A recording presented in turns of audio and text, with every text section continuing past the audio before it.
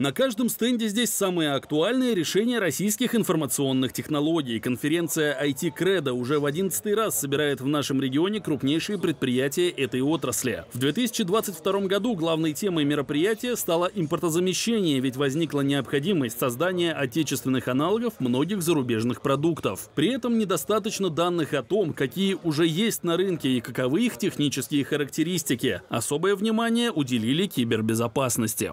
Мы э, развиваем и наши продукты, и в частности, например, в городе Пенза у нас есть подразделение, в котором насчитывается порядка 80 человек работающих, это и разработчики, и аналитики. Особый упор сейчас в пензенском нашем филиале делается на э, разработку средств защиты автоматизированной системы управления технологическими процессами. Организатором мероприятия стала компания Maxsoft, которая уже 15 лет работает на IT-рынке и собрала портфель по импортозамещению, чтобы предоставлять клиентам решения под их задачи. Конференция позволила продемонстрировать возможности российских компаний, помочь бизнесу перейти на отечественное оборудование в срок, обозначенный президентом страны Владимиром Путиным. Основная тема – это обмен знаниями. Это решение тех насущных вопросов, которые каждого нашего заказчика сейчас интересует.